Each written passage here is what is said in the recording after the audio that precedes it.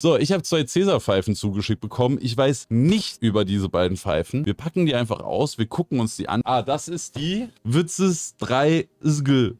Kennt man doch, oder? Die andere ist die WCS 1W Fr Glass Frozen. Die wird, denke ich mal, größer sein, weil das Paket ist nämlich größer. Gut, wir fangen mit der kleinen an und packen die einfach erstmal aus. Gucken wir, was da drin ist. Ah, okay. Hm, reinschrauben. Okay, wir haben auf jeden Fall ein Sleeve-System, eine Epoxid-Rauchsäule. So, als erstes kommt uns der Kohleteller entgegen. Aber, und das deutet ja schon mal auf Fancy Blow-Offs hin, wir haben noch einen zweiten Kohleteller. Wir haben einen Schlauch, wir haben ein Mundstück, das nicht eins zu eins das Mundstück wie bei Aladdin. Schlauchfeder, Kugeln, eine Bowl, die hat gut Gewicht. Und wir haben ein paar schöne Cuts drin, grau. Aber also die Bowl ist überraschend gut vom Gewicht her. So, ich mach mal Platz. Eine Zange ist auch noch drin. Und dann haben wir noch das hier, die Base. Wenn ich mir die Base hier angucke, ne, das ist doch mit Aladdin produziert, oder? Und wenn das von Aladdin produziert ist, dann wissen wir, dass die qualitativ, vor allem für den immer sehr günstigen Preis, absolut krass sind. Das, das, ist doch, das ist doch eindeutig, oder? Guck dir mal den Diffusor hier an. Das sieht viel zu sehr nach Aladdin aus, als dass das Zufall sein könnte. Okay, man kann den Diffusor nur auf einer Stufe anhaben. Zumachen geht nicht, weil dann kommt oben das eine Diffusorloch. Also man muss immer ein kleines bisschen. Vielleicht ist das aber auch gewollt. Vielleicht darf die Bowl nicht zu sehr blubbern, obwohl das von der Länge her eigentlich ganz gut aussieht. Gut aufgebaut ist sie dann anscheinend denkbar einfach. Wir schrauben hier noch das Tauchrohr rein. Das lief ganz gut. Ich würde gerne mal gucken, können wir das auseinanderschrauben? Also alles, um, um uns das einfach mal anzugucken. Ja, auch hier mit diesem Ringsystem, ne? Erinnert sehr stark an Aladdin. Also ich könnte mir gut vorstellen, dass die beiden da einfach zusammengearbeitet haben, was ja nichts Schlimmes ist. Im Gegenteil, ich finde, das ist ein sehr gutes Zeichen, weil bei den Aladdin-Pfeifen wissen wir schon, dass die geil sind. Dann hier wohl der kleine Teller. Ja, guck mal, wir haben da eine kleine Gap. Jetzt könnt ihr das sehen. Also wir haben hier eine kleine, hier dieser kleine Nöppel. Da liegt der Kohleteller drauf und dadurch haben wir eine kleine Gap. Also jetzt würde da wohl der Rauch rauskommen. Also unter dem Teller. Wir könnten aber auch, weil der große Teller eine große Öffnung hat, den wahrscheinlich so drauflegen, dass die Löcher frei sind. Ja. Dann den kleinen Teller drauflegen. Oh, ob das reicht vom Abstand her? Ja, wir probieren es mal. Dann schrauben wir hier noch den Kopfadapter drauf und dann ist das Ding schon zusammengebaut. Das war's schon. So, warte mal. Also ich muss sagen, ich finde die Base fast ein bisschen schöner als von der Aladdin, weil sie noch ein bisschen schmaler ist. Oder? Was sagt ihr? Schlauchanschluss sieht noch relativ groß aus an der kleinen Base, aber ich denke, spätestens wenn man dann einen Schlauch anschließt, wird das schon in Ordnung sein. Ich finde die ganz süß. Also wir müssen gleich noch gucken, was sie kostet. Aber so rein optisch, Edelstahl, Gewindelauf in Ordnung, Qualität kann man auch sagen, ist gleiche wie bei Aladdin. Süße Bowl drunter. Das ist eine süße kleine Einschlauchpfeife. Wir gucken uns nochmal die andere an. So, jetzt die WCS 1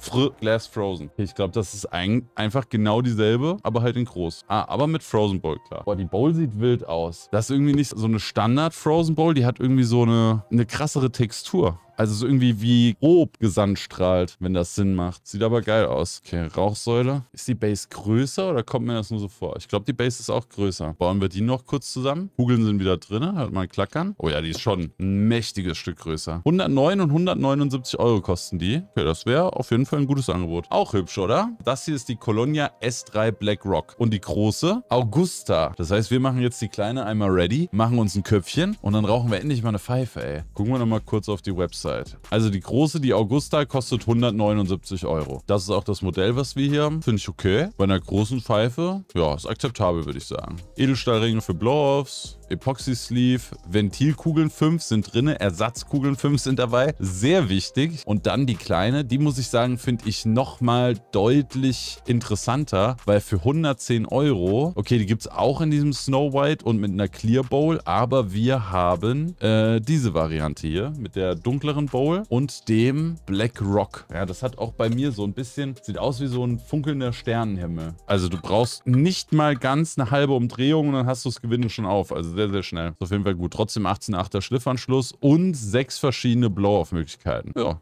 Klingt gut, würde ich sagen. Dann können wir die Pfeife einmal durchspülen, einmal ready machen. Also warum müssen wir eine Pfeife überhaupt sauber machen? Ganz einfach, wenn Edelstahlteile oder Metallteile generell gedreht oder gefräst werden, dann wird das mit einem, einem Schmier- und Kühlmittel versehen, damit die Werkzeuge länger halten. Und genau dieses Schmiermittel, das kann da halt noch dran sein. Das heißt, wir müssen da einmal mit irgendwas, was Öl löst, zum Beispiel ein ganz normaler Shisha-Reiniger, wie auch jetzt hier, rangehen, das einmal alles schön abspülen, damit wir diese ganzen Kühlschmierstoffe da lösen, weil die würde man auf jeden Fall rausschmecken. Ich glaube, der Tellerblau ist so nicht richtig. Da ist fast keine Lücke zwischen den zwei Tellern. Ich kann mir nicht vorstellen, dass da Rauch rauskommen kann. Wenn die Kohle noch nicht ganz ready ist, können wir noch mal kurz nachgucken. Aber ich wüsste auch ehrlich gesagt nicht, was ich anders machen soll. Doch, warte mal, was ist denn, wenn ich... Guck mal, da siehst du, die Gewinde laufen ganz geil. Der passt perfekt drauf. Das soll hundertprozentig so sein. Gut, dass wir nochmal nachgeguckt haben. Danke. So, wir haben eben den ersten Zug genommen. Hier kann auch ein Blow-Off rauskommen. Also hätte ich wahrscheinlich diesen Ring noch drehen müssen für den Teller-Blow-Off. Also haben wir jetzt wohl erstmal den Base nach unten Blow-Off. Ich zeige euch den mal.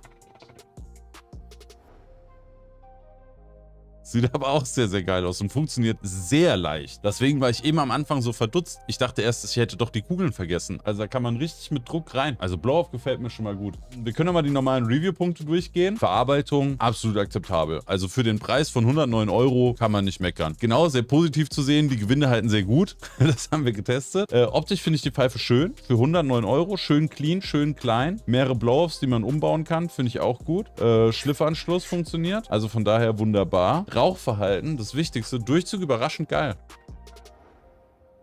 Also trotz, dass wir jetzt gut auf Kontakt gebaut haben, habe ich echt noch einen guten Durchzug. Das Entlüften geht überraschend einfach. Also sehr, sehr einfach. Erste Mal angehoben habe, kam mir das schon. Also auch die ganze Pfeife hat wirklich gut Gewicht. Also ich habe schon das Gefühl, dass das für eine Standard-Bowl recht massiv ist. Und auch die Cuts sind sehr schön gemacht und sehr präzise gemacht. Also Bowl ist cool. Und das bei dem Standard-Set bei 109 Euro dabei, ist nice. Um den Bogen zu spannen zum Anfang, als jemand gesagt hat, Cäsar Billigpfeifen, die geht absolut klar. Also das ist, weißt du, von dem Image her und von dem, was man da vielleicht im Gedanken noch über den Namen weiß, das hat nichts mehr damit zu tun. Das ist genau wie bei Aladdin. Das waren auch am Anfang so billig Kiosk-Pfeifen und sind jetzt wirklich grundsolide Pfeifen zu einem sehr guten Preis. Also ist krass. Ich bin froh, dass wir uns die ganz in Ruhe mal angeguckt haben.